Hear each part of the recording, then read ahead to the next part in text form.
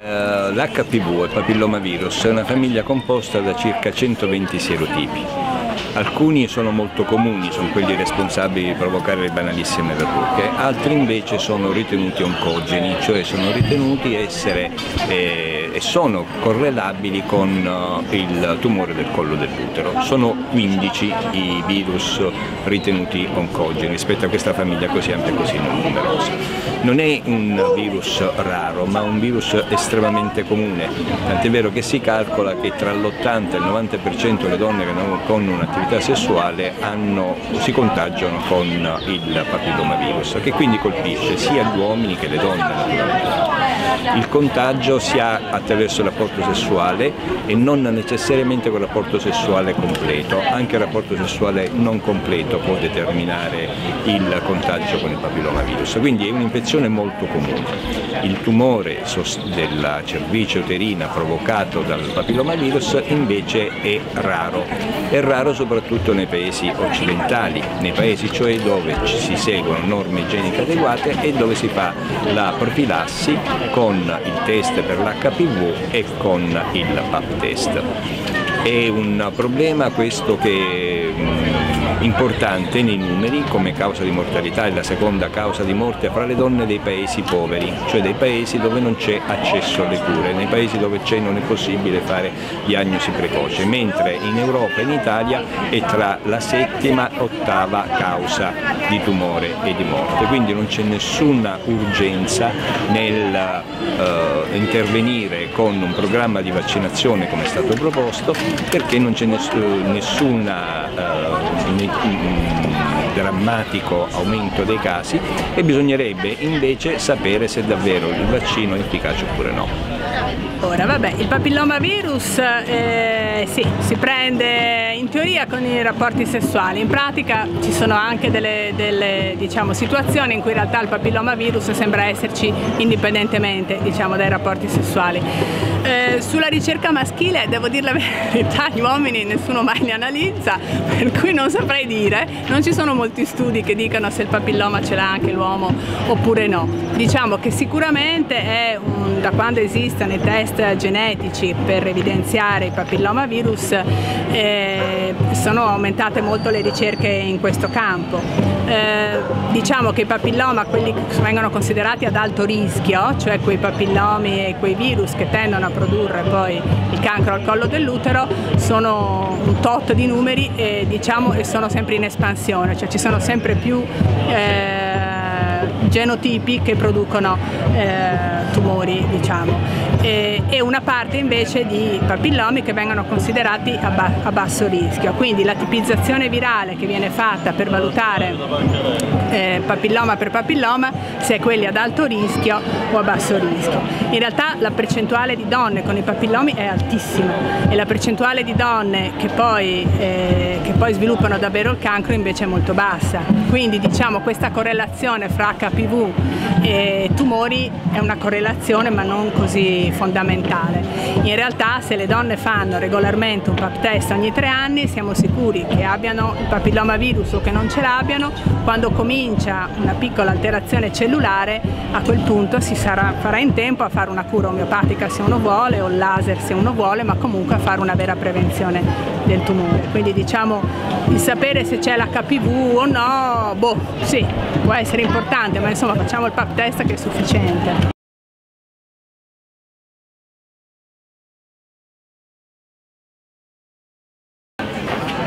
E dunque la vaccinazione è stata introdotta in Italia in base a una campagna che ha visto come sponsor uh, le stesse multinazionali del farmaco che producono i vaccini ed è stata lanciata con uno slogan previeni il tumore del collo dell'utero. Mai affermazione è stata più falsa di questa perché a oggi non è possibile dire che il vaccino funzioni nel prevenire il tumore del collo dell'utero per tanti motivi. Il più semplice è che non è stato soddisfatto il criterio cronologico perché tra eh, contagio, contatto quindi con un virus potenzialmente oncogeno e sviluppo della malattia occorrono in genere 20-25 anni di tempo. Questi 25 anni di tempo non sono trascorsi, quindi non è possibile dire che il vaccino funzioni nel prevenire il tumore del collo dell'utero Quello che si può dire è che per due dei 15 virus oncogeni, soltanto per due, si è stato visto essere capace di ridurre alcune lesioni precancerose. Queste lesioni precancerose, peraltro, nell'80% dei casi si riducono spontaneamente, non necessariamente la lesione precancerosa evolve in un tumore. Il, quello che è importante è eseguire regolarmente il PAP test, tant'è vero che anche nel foglietto illustrativo del farmaco c'è scritto che la vaccinazione non sostituisce la buona pratica del PAP test, quindi il PAP test ogni tre anni è importante. Il vaccino può ridurre il rischio di, eh, di lesioni precancerose, ma non in maniera determinante, perché si calcola che in uno studio che si dice intention to treat, cioè negli studi di quello che avviene realmente alla popolazione l'efficacia per le lesioni precancerose di tipo terzo, quello che si chiama CIN3, è soltanto del 46%, è stimato soltanto essere del 46%. Comunque generalmente le donne entrano a contatto con il papillomavirus e poi il loro sistema immunitario permette di eliminarlo senza sviluppare la malattia. È chiaro che se invece iniziano a esserci una serie di lesioni può, che si rivelano con il PAP test, si può intervenire con degli interventi che non sono destruenti, non sono interventi chirurgici veri e propri, si chiamano iconizzazione e bloccare quindi l'evoluzione di questa patologia. Questo al di là dell'efficacia del vaccino. Il vaccino peraltro non ha ancora quindi dimostrato quello che è il suo vero obiettivo, di prevenire il tumore. Quindi questa è una formazione di propaganda. Il vaccino peraltro ha numerosi effetti collaterali e molte reazioni avverse, tant'è che in molti paesi viene, è stata lì, dove è stato utilizzato è stata richiesta la sospensione del loro uso, come per esempio in Giappone, recentemente anche più di un migliaio di medici in Francia hanno scritto una lettera perché venga sospesa la somministrazione del vaccino.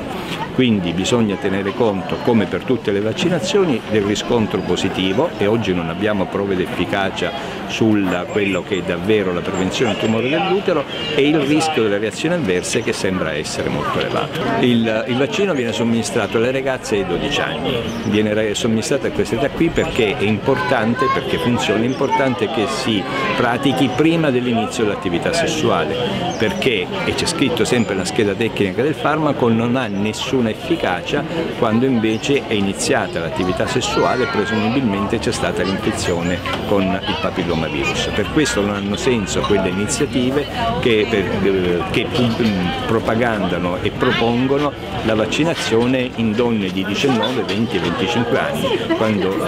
l'attività sessuale è già iniziata o addirittura hanno già fatto dei figli. Come diceva lei appunto, noi abbiamo letto di questo studio finlandese invece sì. In Finlandia hanno preso una, un grosso campione di popolazione e l'hanno vaccinato contro il papillomavirus. Un gruppo altrettanto numeroso è stato vaccinato con il vaccino contro l'epatite A e un gruppo altrettanto numeroso è stato proposto soltanto un placebo. E le,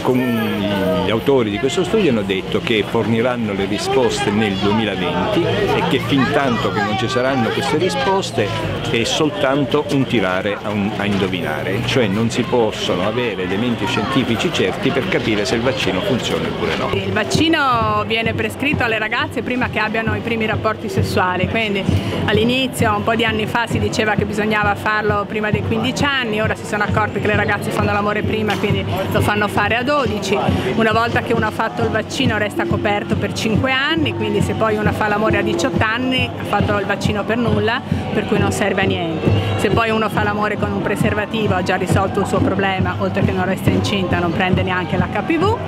e dal punto di vista della ripetizione del vaccino dopo 5 anni gli studi non sono molto chiari, così come non è molto chiaro se funziona anche nelle ragazze che hanno già avuto un inizio di rapporti. Diciamo che è stato molto spinto dalle ditte farmaceutiche perché chiaramente hanno guadagnato parecchio eh, e però una reale efficacia su questo vaccino sinceramente io non la vedo. Devo dire che anche i miei colleghi ginecologi spesso non hanno fatto vaccinare alle proprie figlie, questo vuol dire, vuol, vuol dire molto.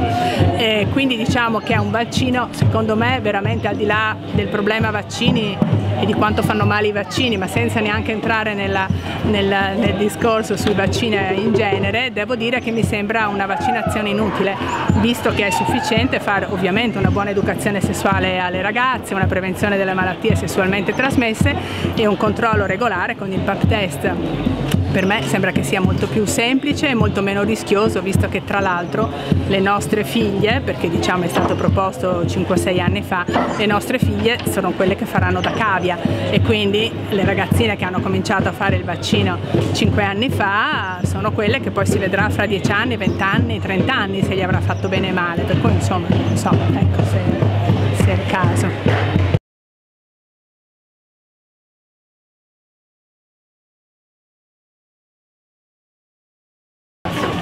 Come per tutte le cose non, non, esiste una cosa specifica se non norme igieniche, è chiaro che l'igiene è importante anche in questi casi. Poi si è visto essere correlato l'insorgenza del tumore per esempio col fumo, ci sono studi controversi sull'uso della pillola anticoncezionale, ma è chiaro che bisogna rafforzare il sistema immunitario sempre con un'alimentazione adeguata, con uno stile di vita corretto. Allora, il fatto innanzitutto che le donne siano il 70-80% di donne abbiano l'HPV dimostra anche che probabilmente noi conviviamo con l'HPV, visto che non è il 70% di donne che sono malate. Quindi diciamo che c'è una sovradiagnosi, c'è una tendenza a trovare l'HPV sempre, tanto è vero che fino a 7-8 anni fa, anche alla ASL, quando c'era un pap test con HPV veniva consigliato subito la bruciatura, ora dicono controllo a 6 mesi e poi continuano controllo altri 6 mesi perché hanno capito che non possono fare un trattamento a tutti, visto che la percentuale è così alta. Quindi diciamo, il vero lavoro è il lavoro diciamo, preventivo sul nostro benessere psicofisico, quindi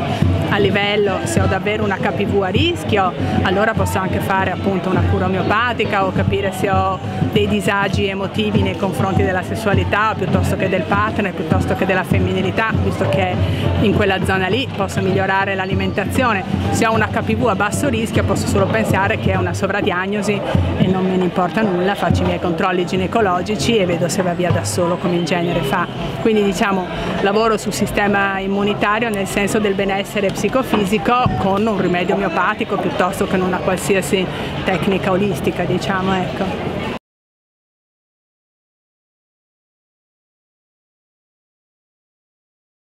Sì, è effettivamente imbarazzante a volte perché io vedo ragazzini di 12 anni che vengono in ambulatorio con la Barbie per mano e i calzettoni corti e pensare di dover spiegare che devono fare un vaccino perché eh, possono subire un'infezione quando hanno un rapporto sessuale a ragazzini di questa età qui è davvero, è davvero difficile. Purtroppo in Italia non abbiamo servizi adeguati per adolescenti, ambulatori per adolescenti che richiedono posti separati da quelli per dei bambini e competenze competenze multidisciplinari ce ne sono davvero poche, sono veramente un'eccezione nel nostro Paese. l'unica proposta che si fa è quella di un vaccino eseguito in questi termini, guarda caso, negli stessi ambulatori dove si vaccinano gli altri bambini. Invece ci vorrebbero strutture dedicate proprio agli adolescenti, perché la problematica dell'adolescente è differente da quella del bambino e soprattutto dobbiamo essere chiari sul messaggio che gli si dà, perché altrimenti c'è il rischio di far passare l'idea che avere un rapporto sessuale significa contrarre una malattia, quindi il sesso visto come fonte di malattia e non come relazione affettiva importante e fonte invece di comunicazione e trasmissione con un'altra persona, con un partner che si sceglie e a cui si vuole bene. Diciamo già sulla sessualità c'è un gran pasticcio, quindi diciamo già c'è, tutta la,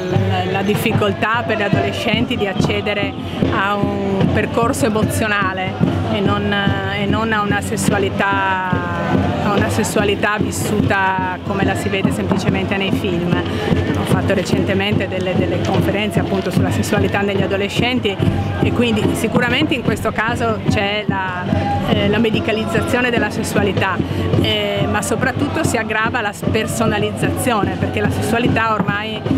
per le ragazze è una cosa che vedono, che vogliono imitare eh, che è una cosa come dire un po' al di fuori del, della relazione, dell'empatia, del, del, rapporto col proprio corpo. È, è, una società molto visiva, quindi loro diciamo ormai appunto su internet vedono tutto, si aspettano di ottenere eh, delle cose ben precise dal loro corpo e vogliono che si ottengano le stesse cose che vedono eh, nei filmati, no, non c'è una maturità emotiva, arriva, arriva una maturità sessuale precocissima.